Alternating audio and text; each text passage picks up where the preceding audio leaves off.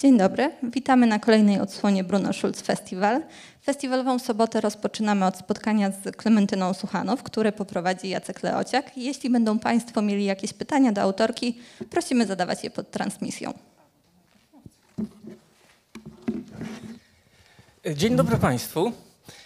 Y, Zastanawiam się, w jaki sposób przedstawić Klementynę Słuchanow. I pomyślałem sobie, że przedstawię ją z takiej bardzo osobistej perspektywy, swojej. No, ja jestem historykiem literatury, więc Klementyna jest dla mnie, właściwie po- powinienem powiedzieć, była dla mnie przez długi czas po prostu osobą, która e, pracuje w literaturze jest e, tropicielką biografii e, Gombrowicza. Tropiła go właściwie, od, zaczęła od Argentyny, prawda? I tam parę lat właściwie spędziłaś chodząc śladami Gombrowicza i stąd powstała książka Gombrowicz w Argentynie, no a potem to opus magnum, te, dwie, te dwa wielkie tomy e, biografii e, Gombrowicza, ale już pisząc te tomy, już robiłaś coś innego. I, I o tym dzisiaj będziemy mówić właśnie, prawda? Nie będziemy mówić o Gombrowiczu. O Gombrowiczu można by mówić w nieskończoność, a ja wykorzystam tylko tą sytuację, żeby powiedzieć, jak ważna jest Klementyna Suchanów dla gombrowiczologów i dla ludzi teatru, którzy z Gombrowiczem pracują, e, którzy Gombrowicza wystawiają. E, Mój przyjaciel, reżyser Waldemar Śmigasiewicz, który od 40 lat wystawia Gombrowicza e, na scenach teatrów w Polsce, okazał się bardzo serdecznie pozdrowić i podziękować. No on on się nie rozstaje z tymi, z tymi dwoma tomami. Ostatnio zrobił Iwonę Księżniczkę Burgunda w, e, w, mm, w Rzeszowie. Ale wracamy do tematu, który dziś nas będzie zajmował i do tej książki. Do tej książki, też grubej. Masz jakąś taką z- predylekcję do pisania grubych książek.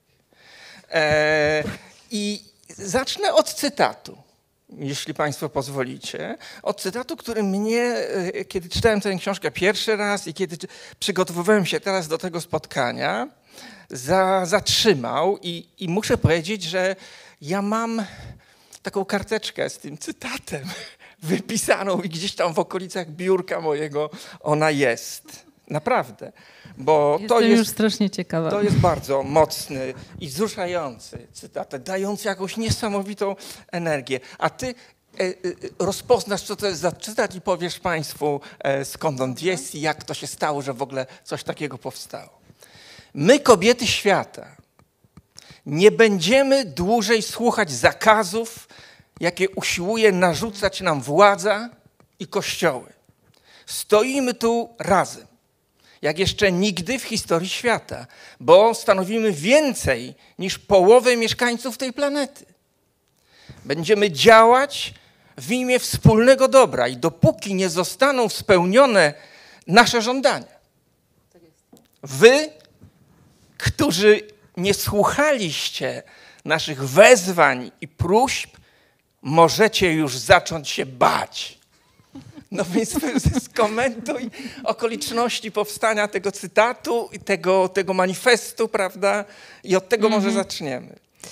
No mm, tak, to był rzeczywiście manifest, e, który powstał przy okazji pierwszej, e, pierwszej próby zorganizowania międzynarodowego strajku kobiet, czyli na e, skalę światową. Po strajku naszym w 2016 roku bardzo szybko zorientowałyśmy się, że te rzeczy, które nas dotykają, dzieją się także gdzieś indziej i że one mają bardzo podobną naturę, bardzo podobną narrację, o ile nie taką samą zupełnie. I bardzo szybko weszliśmy w kontakt e, z kobietami z innych krajów i zaczęłyśmy organizować taką międzynarodówkę swoją. To był koniec 2016 roku, a na 8 marca 2017 zaplanowałyśmy, że wystąpimy razem w taki sposób, że jak glob będzie się obracał, e, to wszędzie, na każdym kontynencie będą gdzieś stały kobiety, które będą krzyczały podobne rzeczy, mówiły, dopominały się, żądały e, i tak dalej. I em, trudno było ustalić wspólne elementy dla takiego wydarzenia, no bo to się glob obraca. e, Ziemia krąży, czas nas różni, pogoda nas różni, kultura nas różni. Na przykład nie dało się uzgodnić jednego koloru, pod którym miałybyśmy występować. Tam o tym piszę i to było takie e, konfliktogenne właśnie, bo nasz czarny kolor, który przyjął się w Polsce jako kolor tego protestu i był też zwany czarnym protestem, czarnym poniedziałkiem który wciąż nam towarzyszy, był nie do zaakceptowania w niektórych e, kulturach. E, przykład, nie, I nie tylko takich, gdzie e, ten kolor e, nie oznacza żałoby, tak jak u nas, ale na przykład dla e, społeczności e, osób czarnych w Brazylii to było nie do pomyślenia, bo e, jakby jest stygmatyzacja dla tego koloru. No i, ale to, co udało nam się ustalić, to, że będziemy miały jeden manifest.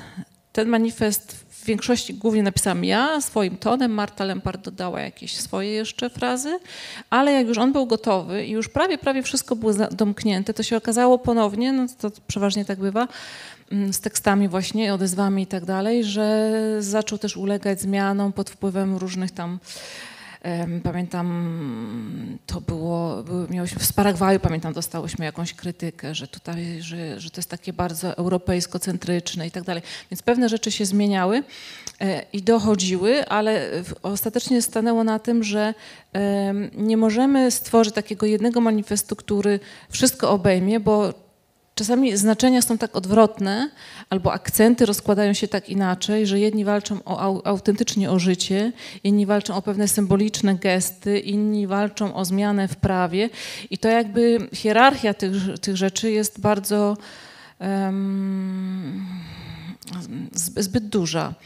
I stanęło na tym, że owszem, ten, ten manifest odczytamy o tej wybranej godzinie, znaczy zawsze to miało być e, o godzinie 18 wieczorem w danym kraju, czyli ta ziemia się obraca i wszędzie o 18 te kobiety gdzieś tam stoją i się dopominają swojego. I e, on był taki właśnie, plus lokalnie można było dodać swoje warianty, jeśli się uznało, że jest coś, co koniecznie w danym miejscu musi wybrzmieć. Tak? Em, I to było wzruszające pisanie tego. Nawet właśnie w tej pierwszej wersji w ogóle nie było uwag do tego tekstu. To, to jakby ten ton, ten ton był przede wszystkim istotny, że tam jest powiedziane to właśnie w taki sposób, jakbyśmy my przejmowały pałeczkę rządów tego świata i teraz obwieszczały, słuchajcie, e, wasz czas się skończył.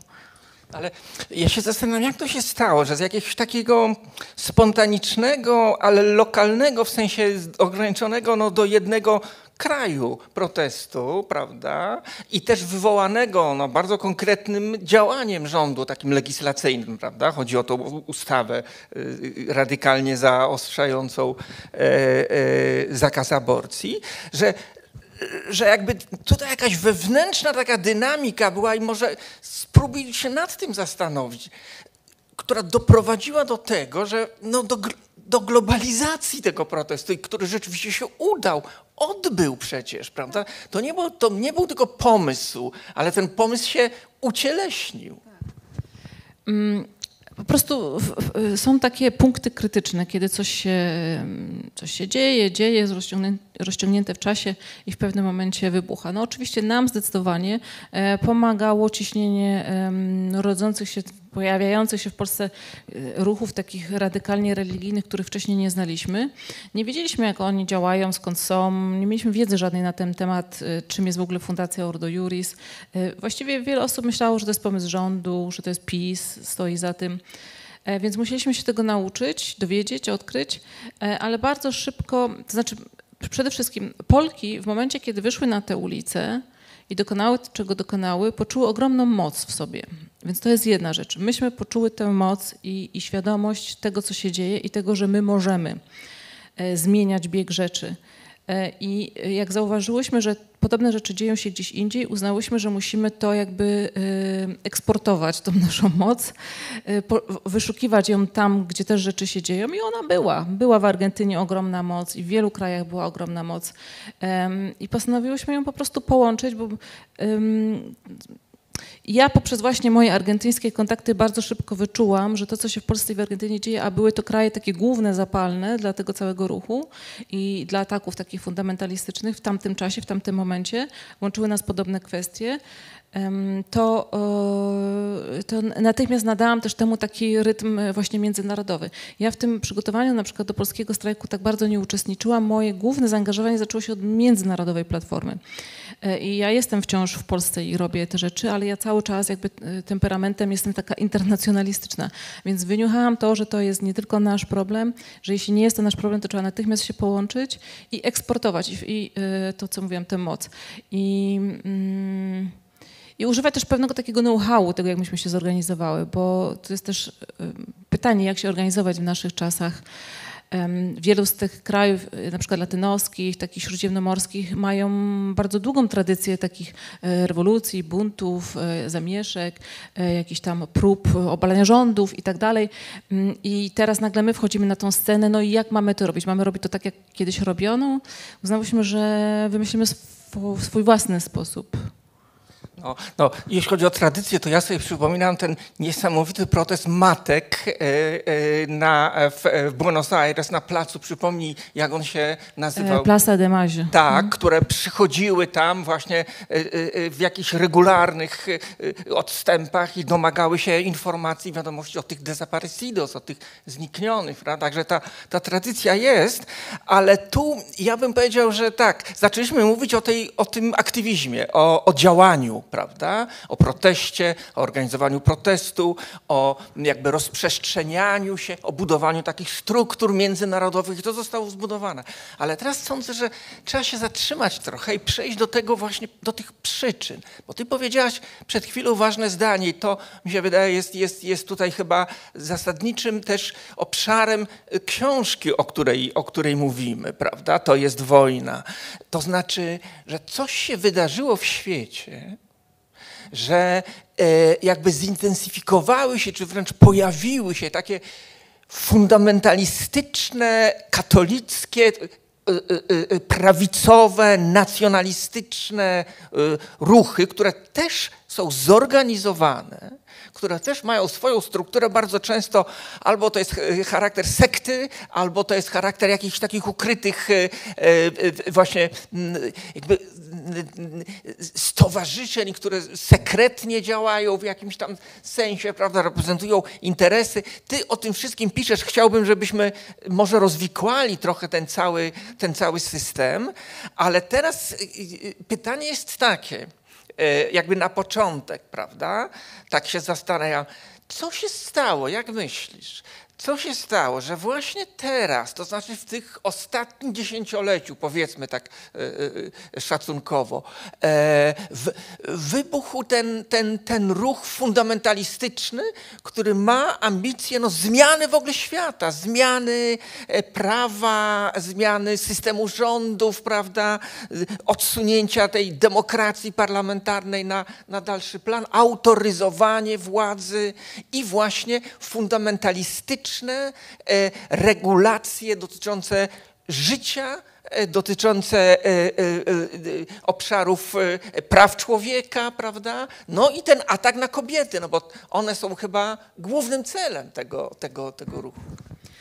Ja, ja to mogę już w sposób syntetyczny opowiedzieć. Mm, to, to nie jest tak, powtarzam to zawsze, że y, konserwatystów y, nie było wcześniej i nie jest tak, y, jak wiemy, że katolików nie było wcześniej. Od tysiąca lat mamy tę religię w naszym kraju, na tych terenach i żyliśmy ze sobą. E, w rodzinach mamy osoby, które chrzczą dzieci, które przyjmują komunię, które biorą śluby kościelne e, i każdy z nas ma takich sąsiadów i znajomych i jakoś do tej pory żyliśmy razem, nawet będąc, jeśli wyznawcami innych e, religii, czy po prostu ateistami, osobami niewierzącymi, e, żyliśmy razem bez takiego wielkiego, na takim wysokim poziomie konfliktu. Dało się. Jeśli tego nie ma, to znaczy, że ktoś wyczuł jakiś interes w tym, e, i użył odpowiednich narzędzi, żeby ten konflikt wzbudzić. Ten konflikt nie jest konfliktem naturalnym. Nie jest tak, że nagle wśród po prostu populacji całego świata nagle wzrosły jakieś tendencje radykalnie religijne i nagle ludzie uznali, że mm, na przykład nie chcą rozwodów i antykoncepcja jest y, nie, niedobra. Y, nie jest tak. To po prostu y, jest wygląda w ten sposób, że istniały takie grupy radykalnie religijne zawsze i zawsze były mniejszością.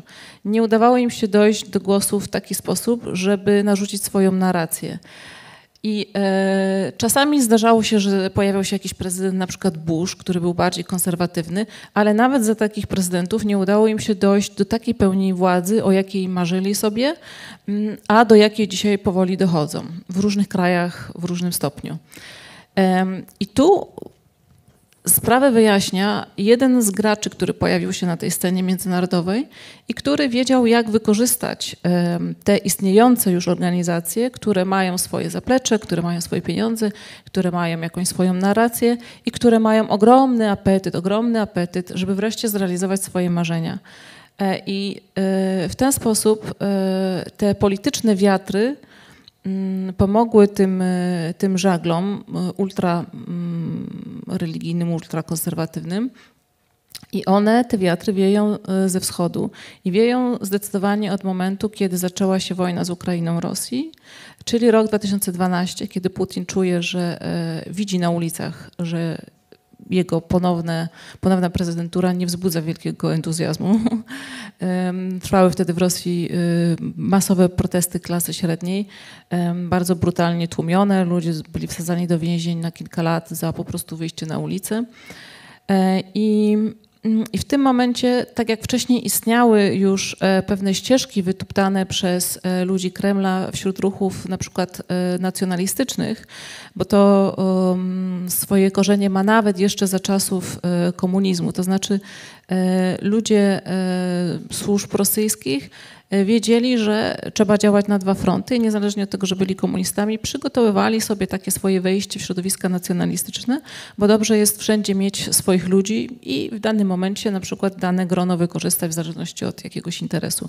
Więc tam już byli i też w latach 90., kiedy e, mur berliński uparł, kiedy komunizm się skończył, e, ruchy religijne, różne organizacje zaczęły się w Rosji pojawiać. No i Oczywiście służby rosyjskie nie były na tyle naiwne, żeby po prostu pozwolić im działać. Pozwolili im działać, ale również pod takim warunkiem, że zaczęli w te organizacje wchodzić i wykorzystywać odpowiednio. E, tak samo jak e, cerkiew prawosławna jest wykorzystywana zupełnie do, jako narzędzie po prostu państwa, jako jedno z, jakby z ogniw całej administracji wokół Kremla. Tak samo jak oligarchowie, tak samo jak mafia, tak samo jak wszystkie po prostu elementy, które są i które posiadają jakiś tam wycinek władzy nad ludźmi, tak? albo poprzez pieniądze, albo poprzez właśnie duchowość. I e, tak to wygląda. E, to brzmi troszeczkę spiskowo i często ludzie mnie, mnie pytają, a że ale nie, no przesada, no nie, nie, nie. E, ale jeszcze w momencie, kiedy pisałam tą książkę, już byli badacze, którzy, którzy już zaczęli to opisywać, a teraz już w zasadzie nawet rok po tym z nie tylko raportem który e, Komisja Mellera w Stanach e, upubliczniła na temat tego, jak wybory Trumpa na przykład były zorganizowane, jak bardzo ingerencja rosyjska mu pomogła, ale późniejszy, niedawny raport przez Senat napisany, ponad tysiącstronicowy, jest tak dogłębny i już są pierwsze osoby, które już mają wyroki nawet za współpracę, Amerykanie za współpracę z Rosjanami w celu obsadzenia na stanowisku prezydenta osoby, która przez Kreml została wybrana. Takie rzeczy dzieją się też w Polsce, chociaż o nich się e, publicznie bardzo dużo nie mówi, ponieważ, jak wiadomo, oczywiście jest to nie na rękę rządzącym, ale byłoby zupełną naiwnością, e, głupotą z naszej strony wyobrażać sobie, że nagle w naszym kraju akurat e, takie rzeczy się nie dzieją. One się dzieją i one w dużej mierze dzieją się właśnie poprzez te środowiska, które ujawniły się w 2016 roku przede wszystkim poprzez ten projekt zakazujący aborcji, karający za aborcję, który z kolei uruchomił e, gniew kobiet i powstanie strajku. Do Polski e, wrócimy, e, bo tak naprawdę to, to jest najważniejszy temat tej książki dla mnie. E, ty piszesz o tej międzynarodowej sieci i rzeczywiście no, trudno nie odnieść wrażenia, że tutaj się odsłania jakiś, jakiś taki spisek światowy, no prawda? E, I rzeczywiście zawsze się bronimy przed tymi teoriami spiskowymi, ale ja tu usiłowałem sobie jakby z, z, ustrukturyzować też i widzisz, mam sam tutaj malowałem jakieś, e, jakieś tabelki, ty zresztą zamieszczasz te różne tabelki tych zależności wzajemnych. To jest niesamowite. W tych różnych organizacjach można się zgubić, ale jak się, to, jak się w to wczyta, to ta struktura jest bardzo klarowna w pewnym sensie. Wiadomo, kto od kogo zależy i czyje idą na to pieniądze, prawda? Więc to jest nie, niezwykłe. Ale ja jeszcze, zanim zejdziemy do tego poziomu właśnie organizacyjnego, no i przede wszystkim do Polski, bo to jest nasza chyba zasadnicza, to jest zasadniczy problem. Tę książkę czytamy dlatego i ona jest tak gorąca, ona w ogóle jest napisana w sposób gorący, może jeszcze będzie okazja, żeby też o to zapytać, ale ona jest gorąca dlatego, że ona nagle odsłania nam no, otwiera nam oczy na to, co się dzieje no, wokół nas, za oknem, na ulicy, prawda, w telewizji, to, co słyszymy. Więc to jest, to jest niesamowite. Ale ja jeszcze się spytam o rzeczy takie bardziej, powiedziałbym, ogólne, prawda?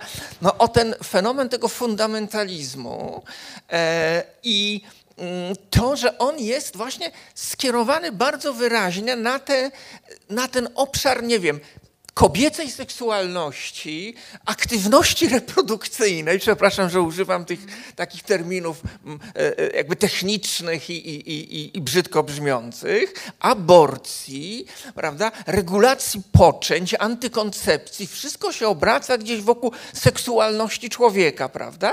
I na to się nakłada, nakłada właśnie ta, e, ten, ten fundamentalistycznie katolicki, bo to, ale nawet chyba nie tylko, bo tam są ewangelicy, prawda, e, jeszcze bardziej e, pewne odłamy ewangelików są jeszcze bardziej ultra. E, no w każdym razie taki jakiś takie jakieś chrześcijaństwo, które ty w pewnym momencie znakomicie nazywasz schizo-chrześcijaństwem, to jest świetny, świetny, świetny termin, świetny pomysł.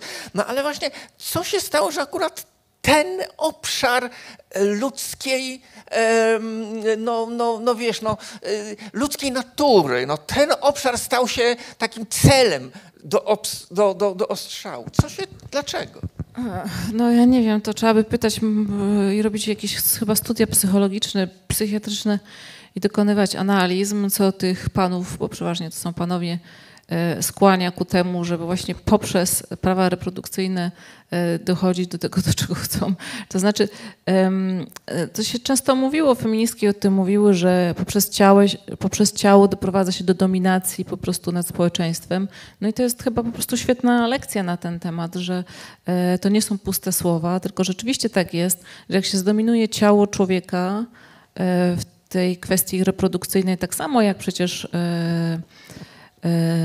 w, w różnych innych systemach takich reżimowych e, się dokonywało, to, e, to jest to już połowa sukcesu.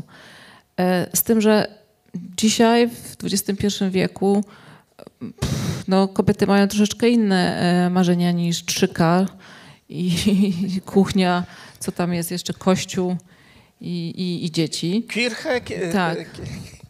Więc no jest to Jakiś strasznie, strasznie niefortunny timing. E, dzisiaj nawet na Twitterze, to jest zabawne, zauważyłam pewną rzecz, to może Państwu przeczytam, e, bo ja śledzę cały czas, e, jakby spojrzeć na to, kogo ja śledzę na Twitterze, to można by się załamać. I gdyby ktoś kiedyś chciał opisać to, co ja na tym Twitterze robiłam, to, to wyszłabym na dziwną bardzo osobę. Dlatego, że E, ja się po prostu przyglądam wszystkim mm, tym światowym e, liderom i organizatorom tych e, wszelakich ruchów. No i w związku z tym śledzę także nasze Ordo Juris, no, w sposób oczywisty. I tutaj z wczoraj chyba, z 10, dzisiaj nawet, z dzisiaj, z 10 października w Polskim Radio 24 prezes Ordo Juris udzielił wywiadu i powiedział, że media stają się pierwszą rzeczywistością dla młodego pokolenia. Okay? Obserwujemy dziś zupełną klęskę kultury konserwatywnej. To znaczy, on sam zdaje sobie sprawę, że ten konserwatyzm ponosi klęskę. Tymczasem jednak to, to wzmożenie po ich stronie jest niesamowite, ale to wzmożenie wynika z e, funduszy, które posiadają. To nie jest wzmożenie, które odzwierciedla wolę ludzi i ich e, tendencje, ambicje, pragnienia, tylko jest to e, po prostu posiadamy dużo pieniążków i zrobimy wszystko, żeby was zmusić do tego, żebyście żyli tak, jak chcemy. Czyli mamy jakąś strategię taką bardzo długofalową, strategię, która jest kontrrewolucyjna, prawda? To znaczy ma odwrócić porządek jakoś zastany, prawda? Ten taki już po tych wszystkich rewolucjach, kontrkulturowych zmianach i tak dalej, modernizacji. Ta nowoczesność staje pod znakiem zapytania i zostaje odrzucona, prawda? I ta strategia jest dalekosiężna, bo ona ma e, dotykać nie tylko e, tej sfery cielesności, seksualności, e, w związku z tym jakby podporządkować człowieka pewnemu, pewnej autorytarnej władzy, ale tak naprawdę chodzi o władzę, prawda? Po prostu chodzi o władzę. Więc myślę, że, że, że tu obserwujemy taki moment w historii Europy, no taki przełom, no jesteśmy w takim momencie, prawda, jakby, jakby zwrotnym. Czy myślisz coś o czymś takim, że, że po prostu no już no nie ma powrotu do tego, co było, prawda? Czy tutaj się jakaś wyłania nowa rzeczywistość i w tą nową rzeczywistość wchodzą bardzo aktywnie te wszystkie środowiska, o których ty piszesz, no, fundamentalistyczne. Yy to, co oni robią poprzez e, próby dominacji nad e, ludzkim ciałem, nad tą sferą reprodukcyjną, nad rzeczami bardzo intymnymi, dotyczącymi również zdrowia, bo za chwilę będzie e, sprawa w nielegalnej instytucji, która zwana kiedyś była Trybunałem Konstytucyjnym i tam będzie się decydowało, czy te przypadki dozwolone jeszcze wciąż przez polskie prawo dokonywania aborcji w przypadku jakichś nieuleczalnych chorób, tak na przykład eugeniczna, płodów, tak ona się tak nazywa, ale to jest bardzo zła nazwa, dlatego że tutaj nie ma mowy o żadnej eugenice. To jest ich nazwa, tak. tak. I, i y, to się wydaje, że to jest takie główne pole bitwy, to znaczy ta sfera ideologiczna, y, ataki na y, osoby LGBT i tak dalej. Ale to jest tylko mm, taka powierzchnia zewnętrzna zupełnie, bo tak naprawdę właśnie chodzi mi o władzę, a w tej władzy nie chodzi o władzę, władzę Y, w ramach tego, co dotychczas było, czyli taką władzę, no powiedzmy, w krajach demokratycznych, y, tylko przesunięcie y, się w stronę systemów autorytarnych. I to jest coś, co właśnie świetnie się udaje, jest celem osób zasiadających na tym Kremlu nieszczęsnym, e, dlatego że nie są w stanie współzawodniczyć ze światem cywilizowanym, takim, przepraszam za słowo, zachodnim powiedzmy, który jakby tradycyjnie uznają za swojego wroga i teraz ta narracja również się pojawia, że ten Zachód jest wrogiem, jest szatanem i tak dalej. To Putin nawet używał takiego słowa, że, że Zachód jest szatanem właśnie i się obwieścił liderem tego świata konserwatywnego. E, I to jest próba niszczenia właśnie naszych systemów, żeby upodobnić nas bardziej do nich, czyli jakby skorumpować te nasze systemy, wprowadzić takiego wirusa, który zepsuje to coś, ten nasz dobry nastrój, że jakoby my mamy tutaj, posiadamy jakąkolwiek wyższość nad nimi w tej kwestii praw człowieka, która zawsze jest taka wstydliwa dla, dla Kremla. E, no i jak widać, e, im się to świetnie udaje, a nawet nie tyle im się udaje, co po prostu nam się udaje. Okazuje się, że wszędzie wszystko można zepsuć, jak się tylko dobrze namiesza. I e, Stany Zjednoczone, które eksportowały swoją demokrację do przeróżnych krajów na świecie, wywołując czasami wojny, różne konflikty, ulegają temu samemu. To znaczy skorumpować i wrzucić, wpuścić tego wirusa e, w system amerykański to jest mistrzostwo świata. No tak, ale... Polska to jest nic przy tym. Do Polski chciałbym jeszcze wrócić naprawdę, bo to, to, to jest bardzo, bardzo dla nas ważne tutaj, którzy tu przecież żyjemy, ale myślę, że to są działania jakby takie dwukierunkowe, dwu, dwu, dwubiegunowe, bo z jednej strony y, można wrzucić wirusa i zobaczyliśmy, jak zawirusowano system wyboru, czy i sam procedurę wyboru w Stanach Zjednoczonych, prawda? To jest ewidentne teraz, no przecież nie ma żadnych wątpliwości, że one były zmanipulowane z, przez Kreml, prawda, w różny sposób. No ale jednak musi być jakieś podłoże. Tak jak organizm, który jest osłabiony, e, łatwiej podlega infekcji, prawda, to tu się coś takiego stało, że to podłoże społeczne, nie wiem, było jakieś już naruszone, było jakbyś osłabione. No. I ten populizm, no tutaj też no, padają te słowa populizm, no, to, to, to jest taka słowo worek, prawda, ale, ale coś takiego się wydarzyło, że to dążenie do niewolności, żeby przywołać tytuł e, książki e, e, Timothy Snydera, no spotkało się jakby z tymi bardzo precyzyjnie zaplanowanymi, finansowanymi mocno działaniami. Więc tutaj są jakieś, według mnie są takie dwie, dwa kierunki. Co ty o tym myślisz? No ja myślę, że my dochodziliśmy do jakiegoś kryzysu tych, e, tego modelu demokracji i ten moment został dobrze wyczuty. Poza tym e, pojawiały się też kryzysy i ekonomiczne, które bardziej ten świat zachodni dotknęły w sensie systemów ich bankowych i tak dalej, które jak się okazuje też były świetnie skorumpowane, bo tamtędy na przykład przez Deutsche Bank i wiele innych banków, takich priorytetowych banków, dużych, wielkich i renomowanych, przychodziły brudne pieniądze, po prostu były pralniami pieniędzy to już też jest dzisiaj wiadome, więc Nawet no się okazuje, że ten system był już przegniły, e, tylko to zostało doprowadzone do jakiejś ostateczności w tym momencie, e, ale pomogły temu po prostu nowe narzędzia. Znaczy to wszystko, co robiono z Facebookiem, Cambridge Analytica, fabryki trolli, to są nowe zjawiska, które zostały wymyślone nieprzypadkowo tam, a nie gdzieś indziej, dlatego że to jest właśnie fenomen w ogóle służb polega na tym, że one są dopiero wtedy efektywne, kiedy jest ciągłość w tych służbach taka pokoleniowa. Te służby od czasów carskich świetnie się rozwijają. One mają swoje słabe punkty i tam różnego rodzaju wpadki się też zdarzały i to nie jest tak, że Um, że to są jacyś mistrzowie um, i geniusze, bo są też inne kraje, które jakieś służby posiadają, ale te służby są jakby używane do innych celów, nie do tego, żeby niszczyć jakby zupełnie, znaczy no do różnych celów są uważane, okej, okay, ale jakby już pomijając kwestię tych y, służb i takich działań specjalnych, to widocznie po prostu coś zostało przeoczone, tak myślę, przez socjologów, przez e, psychologów jakichś tłumów, e, że coś było takiego, co zostało wykorzystane, że był jakiś właśnie ten słaby punkt, który ktoś odpowiednio zdefiniował i wykorzystał go, a my jakoś tego nie zauważyliśmy być może. Znaczy my mieliśmy również ten słaby punkt. Za lata rządu na przykład Platformy, one nie, nie prowadziły nas też ku żadnemu rozwojowi. To była w pewnym sensie stagnacja tak naprawdę. To było korzystanie z tego, co było wcześniej, a nie było żadnego pomysłu na to, co ma być dalej. Mm, nie było jakby takiej wizji tego, jak wyglądać ma społeczeństwo polskie w XXI wieku, tylko to się tak jakby ciągnęło siłą tego, siłą rzeczy.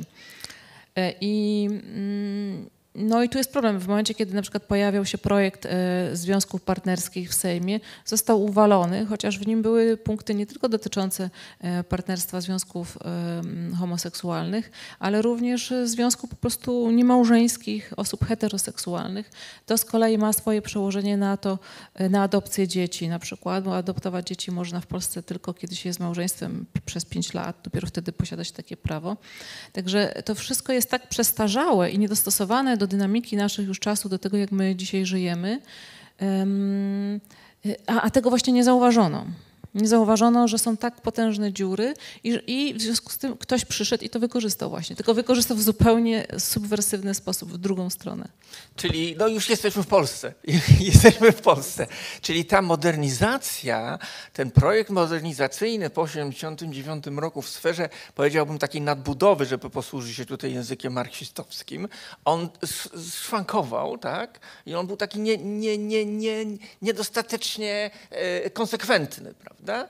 Ale też no, z drugiej strony jest teraz pytanie, roz, rozważamy to, na ile ta gospodarcza y, y, ten gospodarczy projekt e, transformacji, prawda, był no, obarczony błędami, e, spowodował właśnie społeczne skutki takie, pauperyzację, nie wiem, odsunięcie, prawda, marginalizację różnych grup społecznych i to wszystko tworzyło taką, no, takie zarzewie właśnie no, jakby podatny grunt do, do, do, dla populizmu.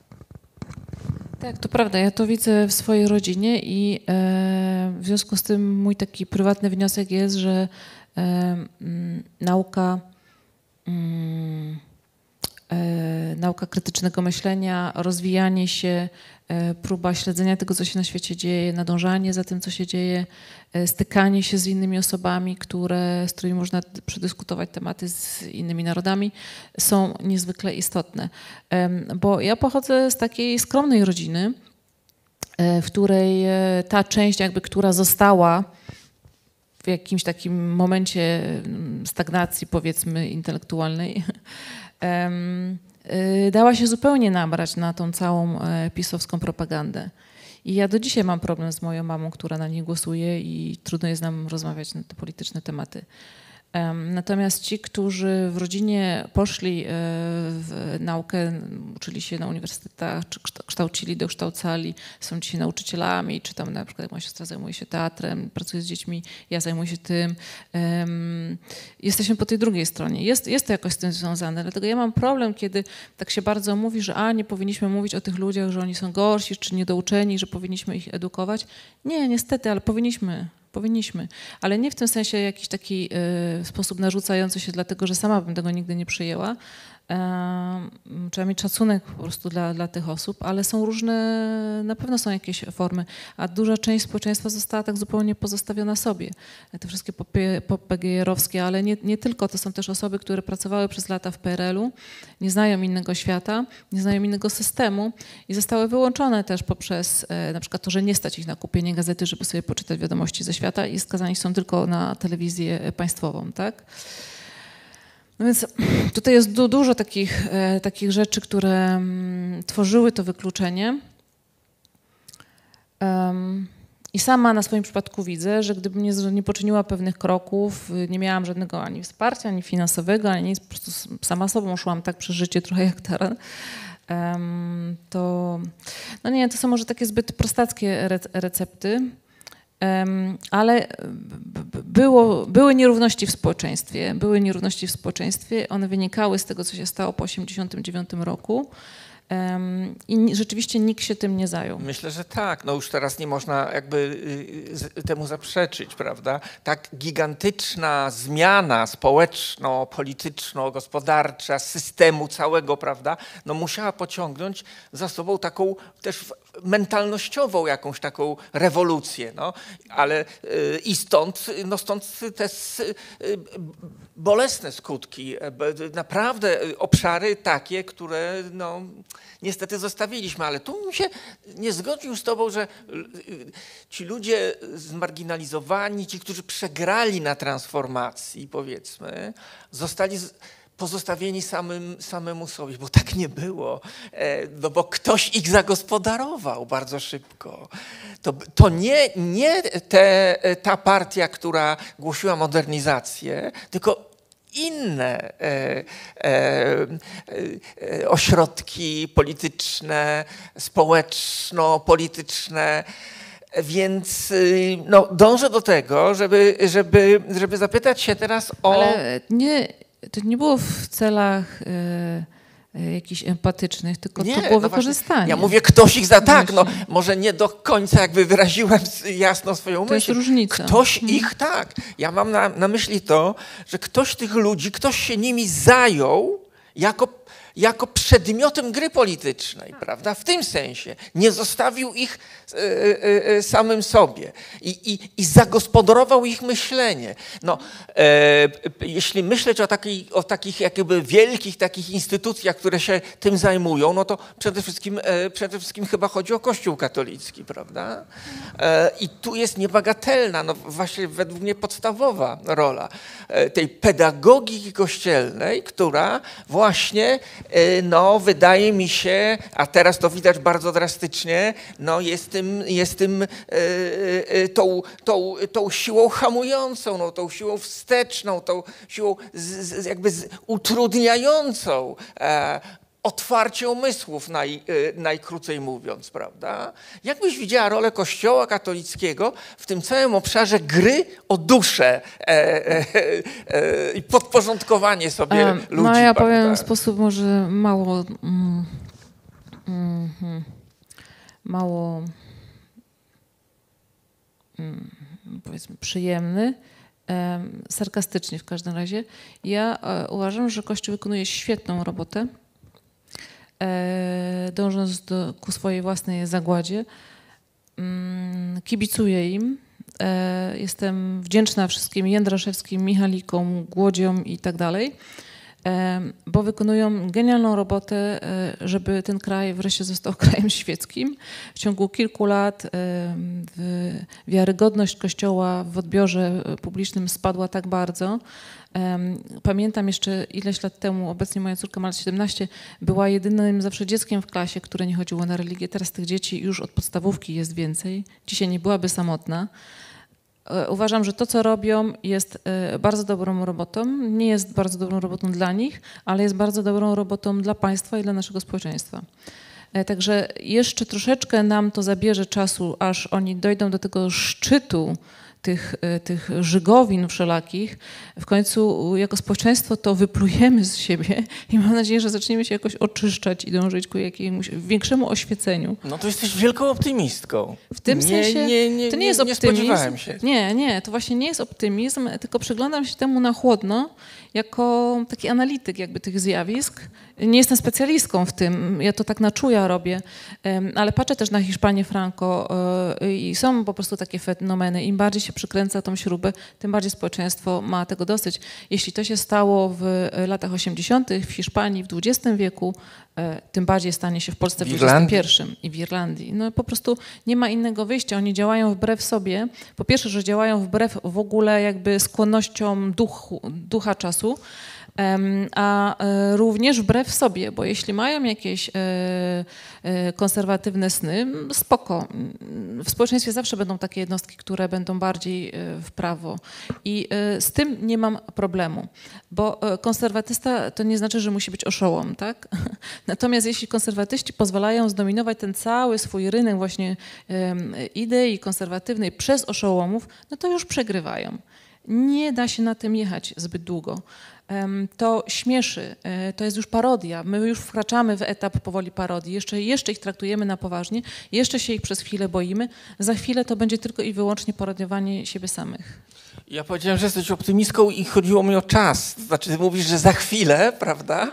No ja wiem. Tak mówię z punktu, wiesz, Ja historyka. Ja myślę, że to jeszcze ta chwila jest, będzie bardzo, bardzo długa, ale dynamika chyba e, jest taka, a, ale niestety ile przez ten czas tego obumierania, prawda, ile jeszcze krzywdy i zła To jest zostanie. problem, To że jest niestety właśnie- to pozostawia ślad, e, tak. to sprawia, że są ofiary i tego nie jestem im w stanie No, wybaczyć. są ofiary. Przecież Parę dni temu e, w, e, w Szczecinie na ścianie kościoła, takiego, takiej nowoczesnej architekturze właśnie e, no, dokonano takiego właśnie, pojawił się napis macie krew na rękach i takie roz, rozchlapane różnokolorowe plamy. No i to jest dramatyczny głos, to jest kolejny, kolejny sposób mówienia w ogóle. O tym też chciałem z tobą porozmawiać, jak o tym mówić i, i jak to opisywać. E, e, e, napisy na murach. E, ko, jako e, kole, ty sama jesteś autorką przecież tych napisów, przedzierasz się przez te kordony policyjne, biegniesz, żeby tam napisać sąd ostateczny na was czeka. I tam dopadają cię, no to tak, przepraszam, ja to mówię tak lekko, ale mam ogromny szacunek e, do ciebie i wręcz, przyznam się szczerze, że jestem taki zażenowany, bo no, ja tu siedzę, prawda, i, i, i nikt Nikt mi rąk nie wykręca i, i, i nie rzuca na, na beton, e, a ciebie tak, prawda? że Ale nie miałaś- teraz. No nie, no nie Też teraz. siedzę tutaj. No. Miałaś przecież kręgosłup naruszony i tak dalej. To są konkretne skutki. Więc te napisy, to wszystko, to jest jakby też nowa forma mówienia, prawda? No, w historii ludzkości wcale nie jest taka nowa. E, No, ja nie wiem, jak, ale u nas ja nie wiem jak, chwili. jak to się dzieje, że w Polsce po czasach Solidarności, kiedy też były napisy na murach e, i nie tylko, e, jest to odbierane jako radykalizm. My jesteśmy w jakimś strasznie dziwnym punkcie rozwoju jako, jako społeczeństwo pod tym względem niezwykle konserwatywnym, pod względem form protestowania. Jeśli napis na murze jest radykalizmem, no to ja nie wiem, jak ro- rozumieć, jak mielibyśmy zwłaszcza właśnie jako e, osoby, które się zajmują historią, czy literatury, czy, ale to w dużej mierze dla mnie też jest w ogóle historia, historia, bo historia literatury jest związana ze zjawiskami różnymi, z drugą wojną, przecież to są też procesy, które mają na to wpływ i em, jeśli napis na murze uważa się za radykalizm, to znaczy, że coś strasznie złego dzieje się z Ale naszymi też za głowami. niszczenie mienia. No e, dobrze, i co z tego? E, e, Warszawa została w 80% zburzona i została odbudowana i nie da się zamalować dwóch metrów muru? Oczywiście, że się da. Do dzisiaj na murze, na którym ja napisałam czas na sąd ostateczny, jest napis Legia Śródmieście Północne. Ja, tak, ja Non wiem. stop, to jest na budynku poczty przy ulicy Wiejskiej. Nikomu to nie to nie przeszkadza. Nikomu nie przeszkadza.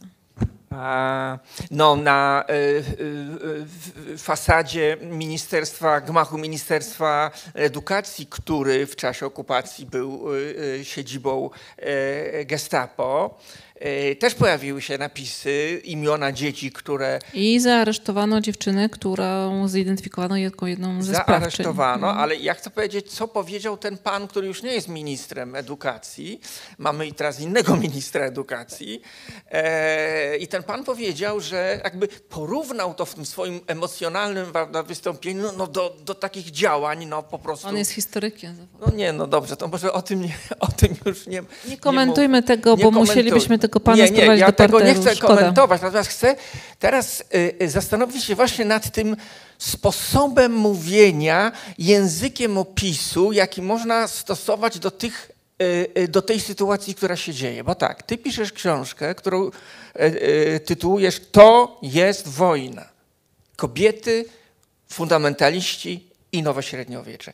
I na kartach tej książki wielokrotnie pojawia się ta metaforyka wojenna, prawda? Mówić wojna, oni wojna, tu to jest wojna przeciwko nam, więc my walczymy. 5 października e, w gazecie wyborczej, w tej gazecie e, na, na sobotę i niedzielę, to ona się teraz nazywa Wolna Sobota, ten magazyn taki gazety wyborczej, profesor Marcin Matczak, który jest tam felietonistą e, tej gazety, a no, znamy profesora Matczaka, profesora prawa, no, z fantastycznych jego wystąpień e, w, w obronie sądów. On ma też e, no, jakiś taki niezwykły dar e, takiego publicznego, fantastycznego mówienia, klarownego, trafiającego do, czytelni, do, do, do widza. I teraz pisze w tym felietonie coś takiego. To jest o tobie felieton. Czytałaś go? Ko- Kojarzysz? Ja chyba wiem o co chodzi, bo Tak. ktoś mi No to to ja przysłał, ja ale to nie jest o mnie, to jest o wojnie. Nie, to nie jest, ale, ale ty jesteś jedyną, jedynym przykładem, który on przywołuje. E, ja w, w, króciutko to jakby zrekapituluję i właśnie to chciałem. Mi się wydaje, że ten felieton jest w ogóle znakomitym punktem wyjścia do naszej rozmowy, czy do pewnego e, nurtu e, naszej rozmowy, do pewnej problematyki. Otóż tak, profesor Matczak zarzucił ci nie wprost, ale jednak myślenie faszystowskie.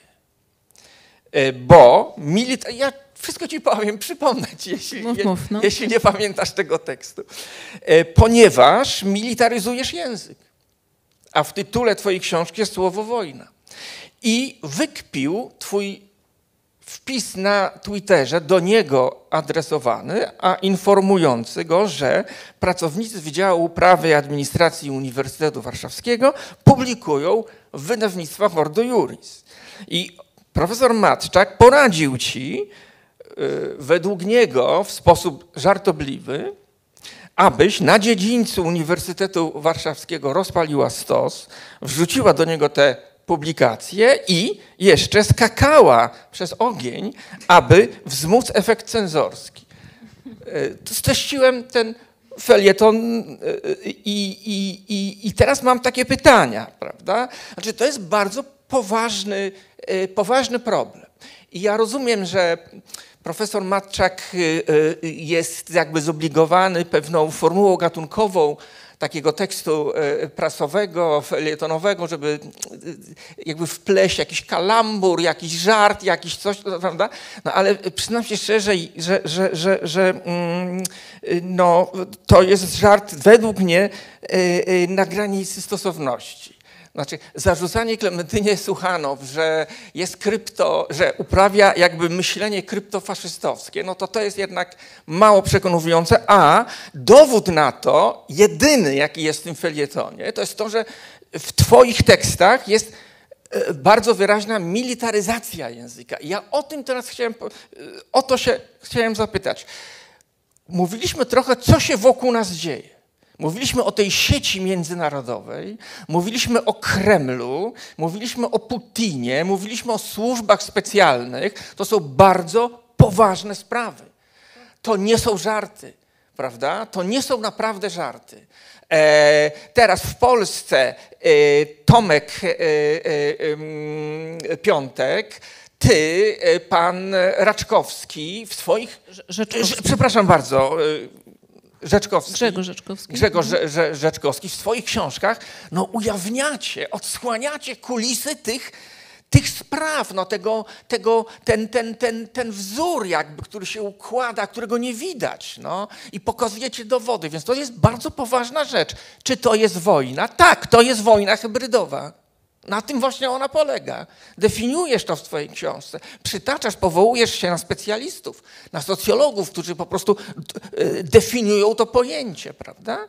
I teraz, e, i teraz, skoro to jest wojna, to jak ją opisać? Jak reagować na nią, bardzo będąc jednocześnie ostrożnym i nie wikłając się w taką militarną metaforykę, ponieważ, jak uważa profesor Matczak, wtedy stajesz się taka sama jak ci, y, z którymi walczysz. No to są takie właśnie popłuczyny po starych czasach, e, e, które mogę wprost nazwać bzdurami. E, po pierwsze, ten tytuł to jest fraza zaczerpnięta z osób, które reprezentują ten ruch fundamentalistyczny. To znaczy oni na swoich wiecach, wywiadach, kiedy z nimi rozmawiałam, kiedy się udało z nimi rozmawiać, na kongresach i tak dalej, w telewizjach, wypowiadają bardzo często w różnych językach właśnie to zdanie. Po polsku to brzmi to jest wojna, mówią po angielsku na przykład na kongresie, Światowym Kongresie Rodzin w Weronie this is war, e, mówią po hiszpańsku esta es la guerra, i cały czas po prostu jest słowo wojna. Przy tym używają nie tylko tego słowa wojna, ale siebie uważają za żołnierzy. Pojawiają się zresztą e, takie mm, dziwne grupy już u nas na ulicach, również w Polsce. Wcześniej tego nie mieliśmy, takiej militaryzacji takiego chrześcijaństwa. Pojawiają się żołnierze Chrystusa, pojawia się Armia Boga, e, która pod tą samą nazwą Army of God była znana w Stanach i została uznana za organizację terrorystyczną, bo to wyprowadzała do ataków na lekarzy, na zespół pracujący w klinikach. Więc ta, to, ta, ta, ta cała narracja taka militarystyczna po, poza tym e, tam w tych jakby w ramach tej całej sieci również znajdują się organizacje, które albo były sektami, albo równocześnie prowadziły takie paramilitarne działania w e, głównie kontekście latynoamerykańskim.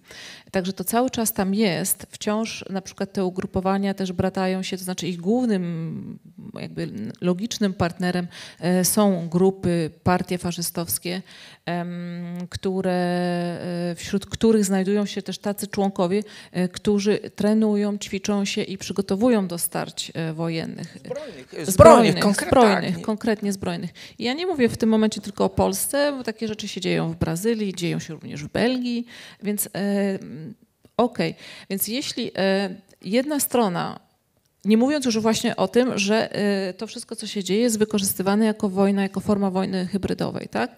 To, co się działo w Ukrainie, to była zaczęło się wtedy mówić o wojnie hybrydowej, ale równocześnie w tym samym czasie zostały, została wypuszczona jakby druga fala skierowana w inną stronę, w stronę Europy, która jest również formą e, wojny hybrydowej, dużo bardziej zniuansowaną, dlatego że nie było tutaj żadnych zielonych ludzików. Tam przynajmniej były i można było mieć podejrzenia, że rzeczywiście te skojarzenia z wojną są słuszne. I tam, jak mówimy o Ukrainie, mówimy o tym, że trwa wojna. Tak? Już nie mówimy nawet, że trwa wojna hybrydowa, po prostu trwa wojna. Ta nasza jest również e, pewną formą wojny, tylko to jest taka wojna w białych rękawiczkach. E, I e, nasza wymiana na Twitterze dotyczyła publikacji rzeczywiście Ordo Juris. Przeglądałam już, nie wiem dlaczego, jakieś sprawozdanie Wydziału Prawa właśnie Uniwersytetu Warszawskiego za rok, nie wiem, ostatni chyba. I e, ku mojemu ogromnemu zaskoczeniu zauważyłam, że tam po prostu ludzie podają źródło e, publikacji w, w, takim wydaniu Ordo Juris jako swoje prace naukowe. To mnie zszokowało, no bo okej, okay, nie jestem, nie pracuję obecnie na uniwersytecie, ale jestem osobą naukowo jakoś związaną z tą, z tą sferą i jest dla mnie szokiem zobaczyć, że można traktować Ordo Juris jako źródło wiedzy rzetelnej, wiarygodnej nauki, tak? I pytam, wywołałam wtedy właśnie e, pana Matczaka jako jednego z profesorów tego uniwersytetu z Wydziału Prawa, że jak oni w ogóle mogą pozwalać na to, żeby tacy ludzie wchodzili i żeby takie rzeczy się działy. Odpowiedział mi właśnie w ten sposób, że zaprasza mnie na inkwizycję na Polenie. Pff, nie wiem dlaczego. Ja nie wzywam do tego, żeby palić publikacje Ordo Juris, tylko że okej, okay, mogą sobie mieć swoje publikacje, ale no, nie ma tutaj żadnych kategorii, które pozwoliłyby nam uznać je za naukowe. Wiem to dobrze, ponieważ je czytam. E, I mm, miałam wrażenie, że zwracam się po prostu do powiedzmy takiego kolegi po fachu z prośbą, żeby na swoim podwórku zrobili może jakiś porządek na tym uniwersytecie, który zresztą jest kolebką, całą kuźnią e, ordo jurisowych kadr. E, większość ludzi, którzy pracują obecnie w Ordo Juris, to są stud byli studenci, studenci Uniwersytetu Warszawskiego, głównego, centralnego, po prostu e, najbliższego źródeł władzy. I to jest dla mnie e, strasznie szokujące i kilka dni temu okazało się, że e, Ordo Juris jest wpisany ze swoimi publikacjami na listę. No właśnie to chciałem powiedzieć i wtedy listę, można spokojnie podawać te publikacje tak, one są punktowane. Na listę publikacji i, naukowych. I punkty idą I do one są punktowane w taki sposób, ktoś tam mm, to pozaznaczał, że publikacja w e, Ordo Juris równa się publikacji w renomowanym wydawnictwie. Więc jeśli ja na przykład piszę e, rzetelnie udokumentowaną książkę, wydaję ją w rzetelnym wydawnictwie, gdzie są redaktorzy naukowi, którzy sprawdzają mi to wszystko, książkę, na przykład biografię Gomrowicza, to była bardzo rzetelnie redaktorsko przygotowywana praca. Każda rzecz, którą ja napisałam, była sprawdzana wielokrotnie. Ja ponownie sprawdzałam. To jest po prostu kilka razy weryfikowana, weryfikowany tekst. I tak wygląda przygotowanie publikacji naukowych. Tak? Natomiast w Ordo Juris ja, nie będąc prawniczką, i jestem w stanie już po pierwszym czytaniu wykazać błędy logiczne, niekonsekwencje, nierzetelność i tak dalej. Więc to, się, to się nie da nazwać naukowym. I byłam zszokowana tą reakcją. Byłam zszokowana, bo myślałam, że rozmawiam z kimś po pierwsze, który, człowiekiem, który broni pewnych zasad, jakby, jakby walczymy o podobne wartości, a po drugie człowiekiem również naukowcem, który rozumie te rzeczy. Um, więc nie do końca jestem w stanie wyjaśnić ten fenomen, ale, y, ale może w ten sposób, i to jest y, ostrzeżenie dla wszystkich, y, ludzie uznają tę fundację w środowisku prawniczym wciąż za po prostu jedną z wielu zajmujących się prawem. Po prostu są różne kancelarie, jest Ordo Juris i prawnicy sobie myślą, że oni są takimi po prostu prawnikami. To, to, to nie są, to jest koń trojański, ja to nie po, są prawnicy. Ja cię poproszę o taką jeśli możesz to zrobić, taką krótką historię Ordo Juris i, i, i, i taką genezę, no bo myślę, że skoro mówisz, że ludzie z, z branży prawniczej u, uznają tą organizację za, za, za, za, za równoprawną z, z innymi prawniczymi, to warto to wyjaśnić Państwu, ale chciałbym dokończyć wątek tego felietonu profesora Matczaka, bo mi się wydaje, że on, on y, wyłania się tutaj naprawdę problem poważny, bo bo ja też w pewnym sensie byłem zszokowany to, y, tym tekstem i reakcją na, na, na, na twoją e, interwencję na Twitterze, ale myślę, że, że właśnie z, z, zastanawiam się, co tu, y, jakby co, co stoi u podstaw tej reakcji, bo z jednej strony e, e, pan profesor mówi tak, że zamiast militaryzacji języka on proponuje kpinę.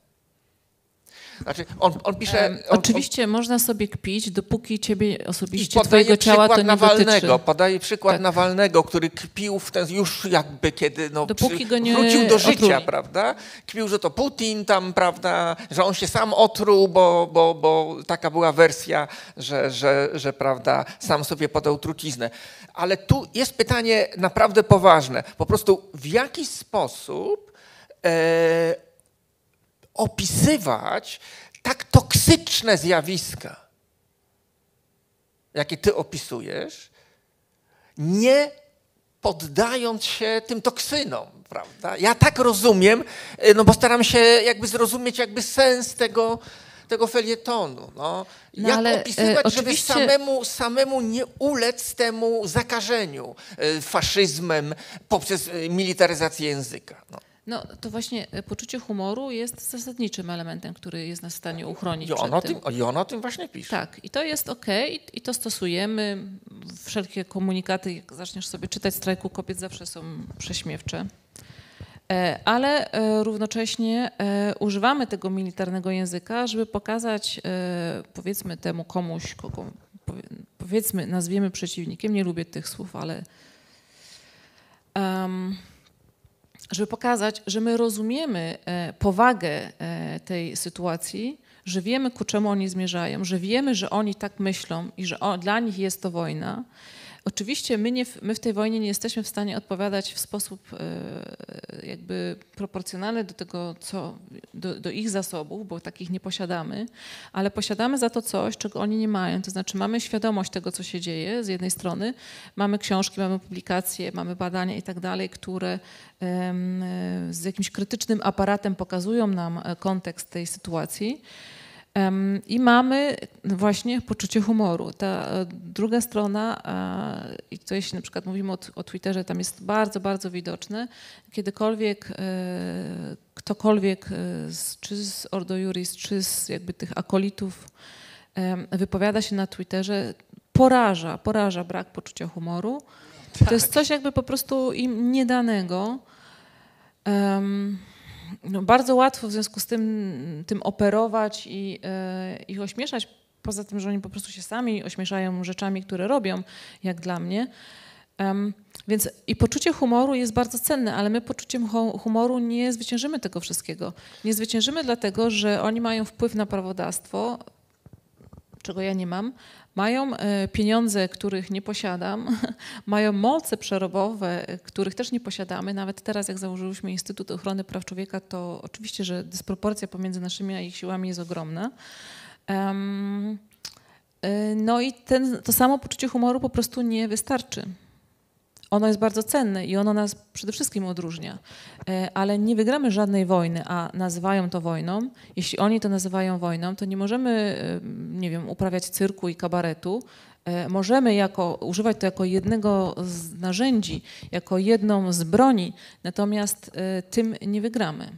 Tak myślę, y, absolutnie się z Tobą zgadzam, że jeśli jest wojna, to trzeba spojrzeć tej wojnie w oczy i nie, za, nie, nie, nie, nie oszukiwać się, że, że... Po prostu tak, nie że... mistyfikujmy, nie tak, oszukujmy się. Tak. To jest wojna, nazywajmy to tak, jak kiedy my rozmawiamy z swoimi koleżankami, feministkami, działaczkami e, z innych krajów, one często nas pytają, bo w ogóle niestety musimy być tego świadomi, że w ramach e, Europy Polska e, pod względem jakby tego świata aktywistycznego i represji, które nas tutaj spotykają, chociaż one wciąż, wciąż nawet nie zbliżają się do połowy tego, co spotyka działaczy w Białorusi czy, czy w Rosji, jest Polska uważana za najbardziej represyjne, gdzie doświadcza się najwięcej e, przemocy aparatu państwa wobec tych osób, które chcą powiedzieć nie. I e, kiedy z nimi rozmawiamy, pytają nas, no ale jak to jest, jak sobie dajecie radę i w ogóle, to mówimy, że przede wszystkim musimy zdefiniować odpowiednią sytuację. Sytuacja wygląda tak, że druga strona uważa, że prowadzi wojnę.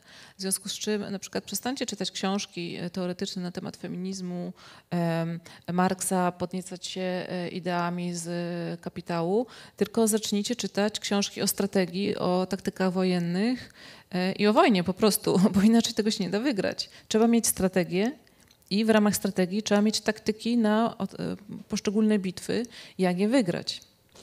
Jeszcze ostatnia rzecz, jeśli chodzi o ten felieton. On jest niezwykle taki jakby pojemny, że tak powiem. Dlatego pozwoliłem sobie go tutaj przytoczyć i uczynić takim narzędziem do, do, do rozwijania różnych wątków w rozmowie.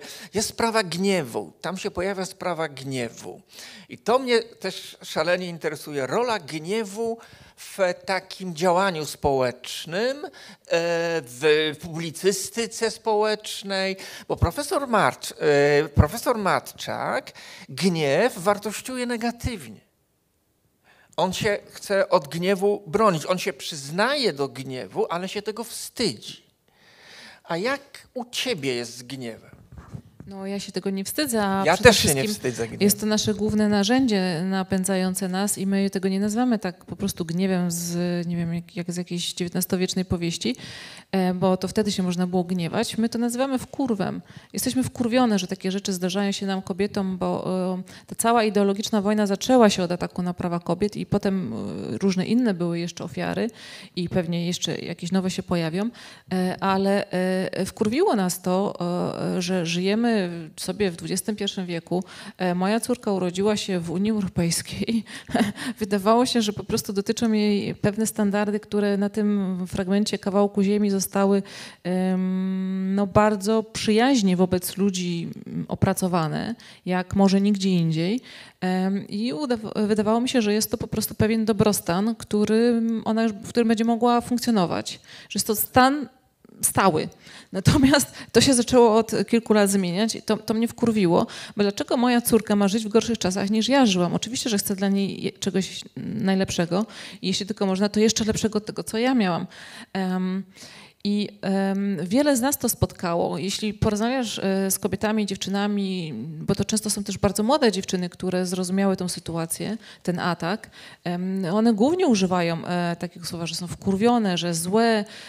Kiedy pytałam, bo ja zrobiłam taki eksperyment podczas pisania tej książki, mamy swoją taką grupę po prostu organizatorek w ramach strajku kobiet i przypominałam sobie te emocje, które mi towarzyszyły w momencie, kiedy wychodziłam po raz pierwszy na ulicę, kiedy się zaczęłam w to angażować, co mną kierowało. No przede wszystkim kierował mną gniew i wkurw na to, że moja córka właśnie będzie miała gorzej.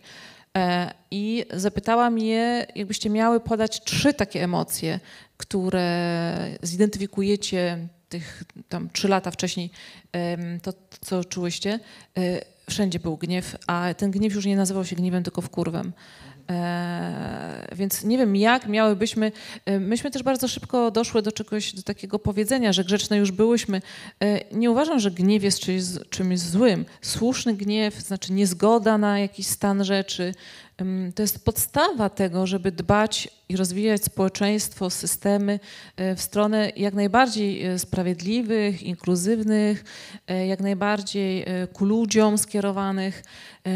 Gniew na to, że jest źle, że komuś się coś złego dzieje, e, wzmaga naszą gotowość do wychodzenia w obronie. Jeśli ja tylko powiem, że no, że dzieją się złe rzeczy i bardzo jest mi przykro z tego powodu, no to tak, no to ja, ja, myślę, że po prostu takiej retoryki można było używać w czasach pokoju, no właśnie. A my jesteśmy na wojnie. Ja jeszcze kończąc wątek gniewu, ja się tutaj powołam na, odwołam do Arystotelesa i do etyki e, nikomachejskiej, bo Arystoteles w etyce nikomachejskiej sformułował taką jakby no definicję gniewu i ona jest dokładnie taka, o, o, o, o, o, o jakiej mówiłeś. O, y, mówiłaś, no gniew to jest taka emocja w człowieku, który widzi pogwałcenie sprawiedliwości i musi na to zareagować i reaguje w ten sposób. To jest taki afekt on jest pozytywny, bo on wzbudza taką wrażliwość na e, otaczający świat i na to, co się w tym świecie złego dzieje, prawda? Zastanawiam się, e, jak byłoby po grecku wkurw i wkurwienie, ale to już trzeba by się zapytać jakichś filologów, jak, jak to przetłumaczyć, ale tak, to jestem absolutnie z Ale tobą. tu użyłeś właśnie bardzo dobrego słowa, bo dla mnie ten gniew to nie jest gniew takiego ojca, który zamierza ukarać syna.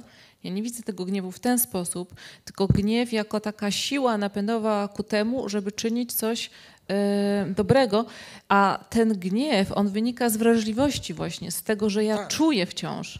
I ja czuję w tym momencie, że dzieje się coś, kiedy muszę zareagować odpowiednio do tej sytuacji, co pozwoli mi na tą sytuację em, zareagować skutecznie, nie tylko właśnie gniewem, że ja będę się gniewała i będę zła, e, tylko że ja, e, ten gniew wywoła we mnie e, chęć czynu, a ten czyn spowoduje, że ja być może sprawię jakieś dobro, tak? No dokładnie. O to chodzi. Istota definicji arystotelesowskiej to jest reakcja na niesprawiedliwość. To o to chodzi. To jest też, można powiedzieć, że obojętność jest, byłaby wtedy taką e, przeciwwagą, no takim, takim negatywem gniewu. Obojętność, prawda? Nie obchodzi mnie, co się wokół mnie dzieje. A to, że mnie obchodzi właśnie, co się dzieje i że ja widzę, że tutaj zostaje zakłócona zasada sprawiedliwości, prawda? I reaguję na to afektywnie właśnie w ten sposób. A afekt jest czymś więcej niż emocja, bo afekt zakłada działanie właśnie. Można być przestraszonym, można być szczęśliwym, no nie wiem, to, to nie, to wycofuję, bo szczęście to jest znacznie głębsza, e, głębsza sprawa. Ale, e, ale afekt zak, e, zakłada działanie, zakłada reakcję taką, więc e, tu jednak zgadzamy się z Arystotelesem, prawda? No tak, wyszło, że tak. Nawet nie A wiedziałam. teraz, a teraz ja naprawdę chciałbym Cię poprosić o takie bardzo jakby klarowne wyjaśnienie tej sytuacji polskich ekspozytur, bo to tak trzeba nazwać, prawda? Polskich ekspozytur tych globalnych struktur e, fundamentalistycznych, które tu mają tylko swoje, swoje e, e, odnogi jakby, czy, czy, czy, czy właśnie... Oddziały. Oddziały, Można tak, powiedzieć, tak. E, W taki w dziwny sposób stało się tak, że to, z czym mamy do czynienia, najbardziej pachnie Ameryką Łacińską. Ale to w sumie jest bardzo korzystne, dlatego że ja się Ameryką Łacińską po prostu zajmuję i było mi łatwo w to wejść, było mi łatwo to zrozumieć.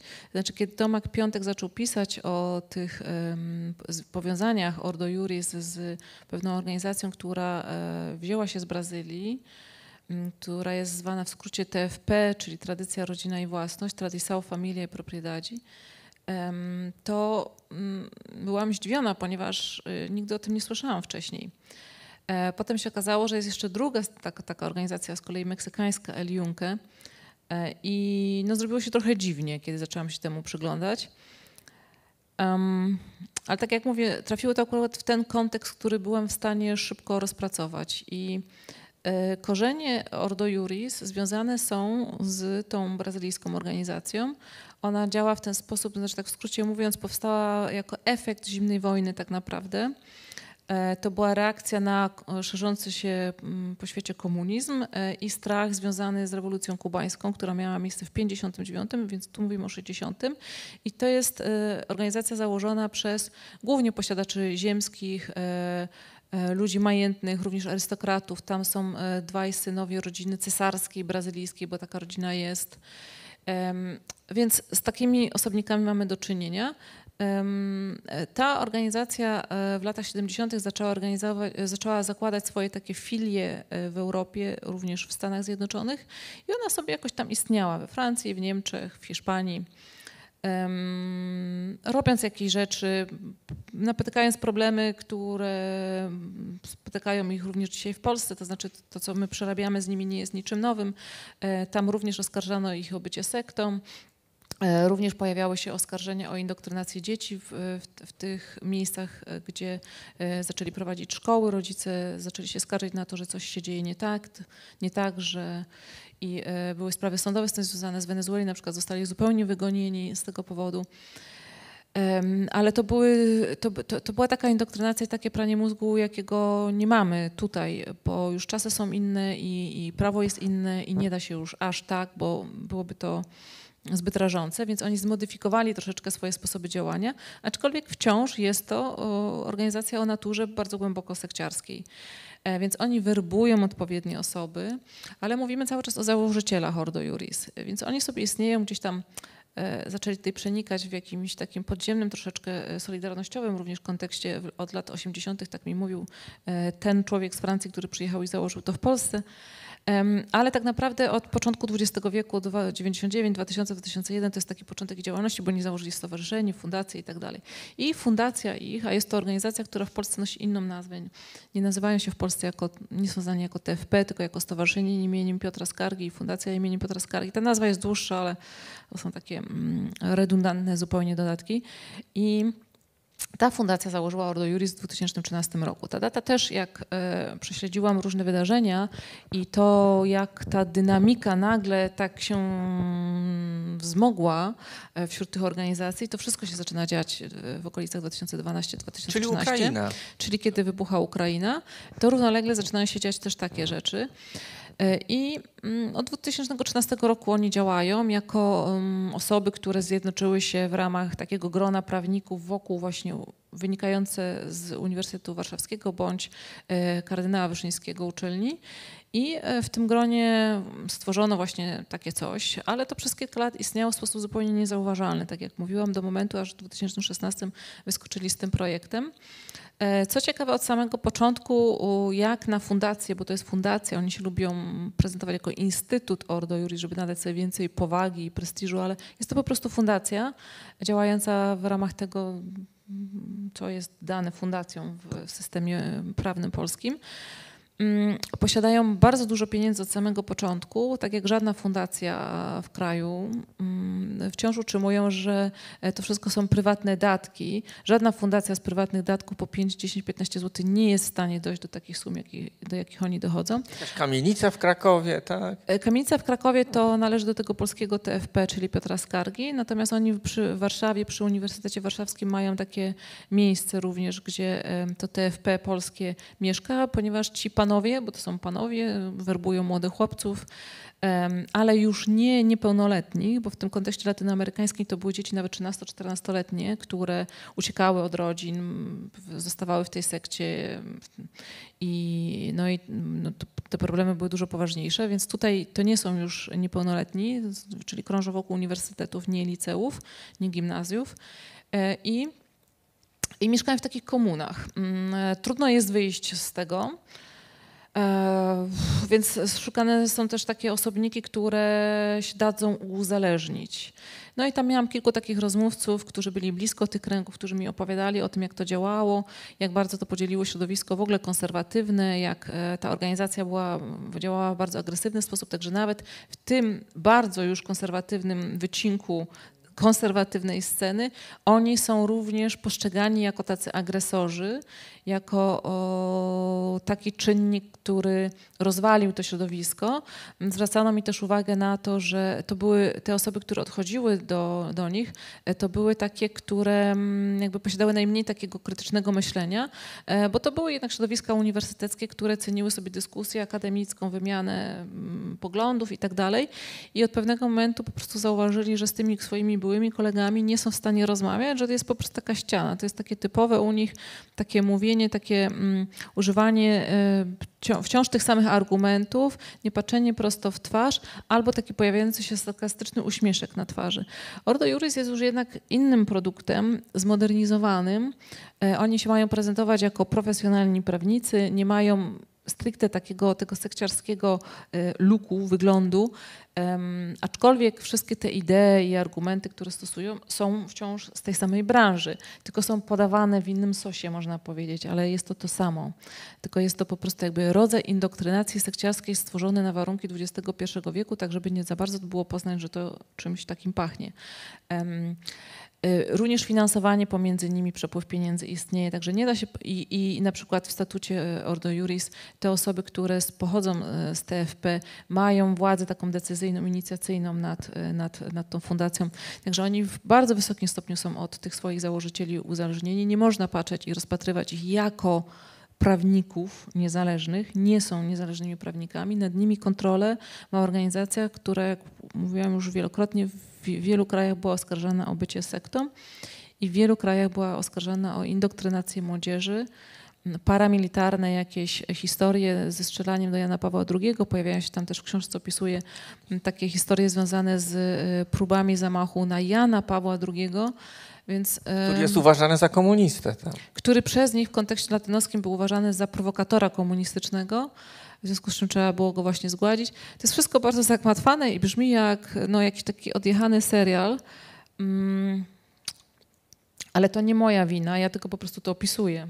No więc właśnie, to, znaczy tam, ty oczywiście to bardzo pobieżnie opowiedziałaś, ale tam to w książce, jeśli Państwo jeszcze nie czytali, to bardzo gorąco zachęcam, bo to się czyta jak właśnie jakiś, e, jakąś opowieść fantazy w pewnym, w pewnym sensie, tylko e, e, uśmiech tężeje na, na, na ustach, kiedy się wyjrzy przez okno i kiedy się kiedy sobie człowiek uświadomi, że właśnie ci ludzie z Ordo Juris, którzy tak wyglądają bardzo porządnie w tych garniturach, w krawatach, prawda, mówisz, że mają taką w ogóle taki sposób mówienia, e, taki, taki jakiś taki trochę automatyczny, prawda? proszę też zwrócić uwagę na to, jak układają ręce, są bardzo dobrze wyszkoleni, jak tym tak, operować. Ja nie, ja nie, wiem, co ja robię z rękami, ale ja go oglądam potem siebie gdzieś na jakiś, to zawsze robię coś głupiego. A oni nie robią takich głupich rzeczy. Nie. Oni, ja, oni mają z jednej strony to zaplecze za sobą, to mroczne, od którego się odżegnują, prawda? I bardzo tego pilnują. E, I no, nawet są przecież e, pisma przedprocesowe wysyłają i grożą procesami, jeśli się powie, że oni są powiązani, więc oni, oni, oni tego bardzo pilnują. Więc z jednej strony jest tam brazylijska sekta jakaś, w ogóle jakaś, a z drugiej strony oni mają realne wpływy polityczne. I powiedz mi teraz, co się dzieje, wiesz, gdzie oni są, ci ludzie z Ordo Juris, w tych strukturach władzy w Polsce uplasowani i co robią konkretnie? E, w tym w momencie, kiedy PiS doszedł do władzy w 2015 roku, prezes Ordo Juris, Aleksander Stępkowski, jeden z prawników, profesorów e, UW, e, został e, takim wice w Ministerstwie Spraw Zagranicznych podwaszczykowskim. Był tam krótko, mm, bo po pierwsze, że wyszedł z pomysłem zaproszenia Komisji Weneckiej, która się obróciła przeciwko, a po drugie, że potem pojawił się ten projekt właśnie karania za aborcję, który też się obrócił przeciwko i nawet w PiSie wówczas uważano takie pomysły były za zbyt oszołomskie i tą fundację traktowano, że jednak troszeczkę bądźmy tak z dystansem. No i te, te ich stosunki z, rząd, z partią rządzącą tak różnie się układały, e, ale dzisiaj po kilku latach to oszołomstwo po prostu stało się w jakiś sposób atrakcyjne dla rządzących. E, Ordo Juris bardzo pilnuje tego, żeby się prezentować jako think tank i przedstawia przeróżne raporty, ponieważ e, sam PiS nie posiada takich intelektualnych mocy, więc korzysta z tego, z takich gotowców, które im podsuwają, a że te gotowce sprzedają im jakieś różne wariactwa, no to tak jakby jest przy okazji. I Dzisiaj są już w kilku ministerstwach. E, ów Aleksander Stępkowski, były prezes, e, jest sędzią najwyższym. W dodatku on w momencie, kiedy wyznaczono komisarza Zaradkiewicza do wyboru nowego prezesa Sądu Najwyższego po pani Gersdorf, objął tą funkcję i doprowadził do wyboru tego prezesa, czyli uczestniczył, e, organizował ten cały proces. Zasiada również w komisji, która jest odpowiedzialna za weryfikację wyborów, um, znaczy głosowań i tak dalej. No więc kluczowa również.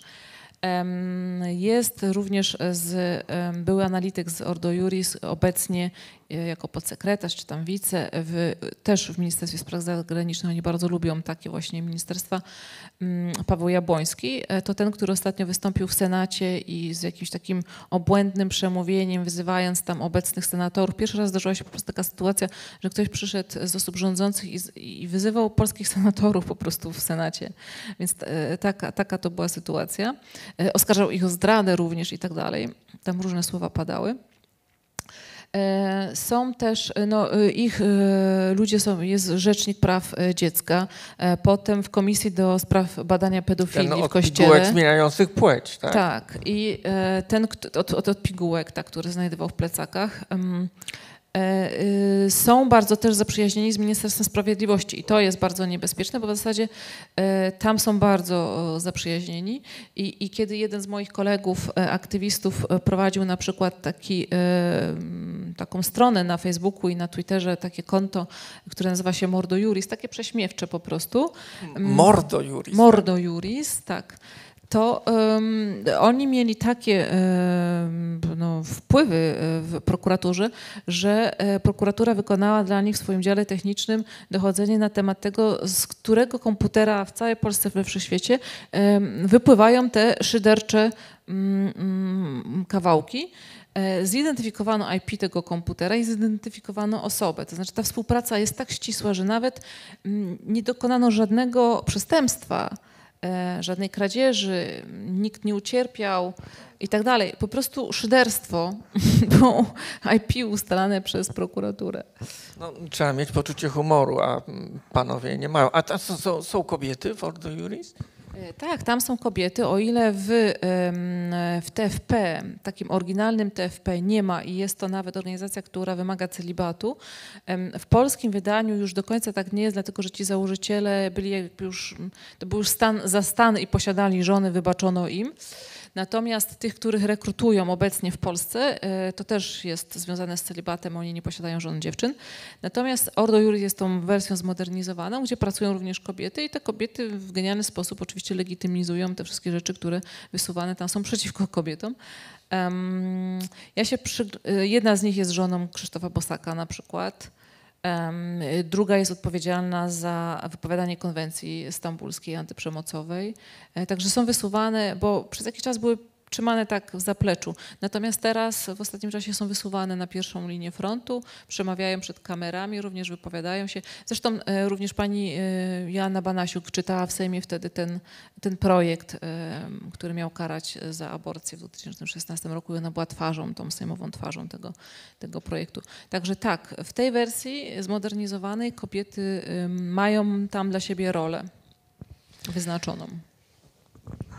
Proszę Państwa, będziemy powoli zmierzać do końca naszej rozmowy, mm, y, ale jeszcze nie kończymy. Y, ja chciałem dwie rzeczy jeszcze na, na, na koniec powiedzieć.